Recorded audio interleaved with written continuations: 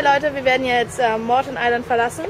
Es war wunderschön. Wir hatten, äh, wir haben Sandboarding gemacht, wir waren schnorcheln, wir haben ein ähm, Lagerfeuer gemacht. Er hat uns die Insel gezeigt. Dave, unser Touristenführer sozusagen, mit Morton Island Adventure haben wir die Tour gemacht und es war einfach nur richtig cool. Er hat uns so viel gezeigt und so viel ähm, erzählt und erklärt. Es war echt richtig cool. Und ja, Morton Island Adventure.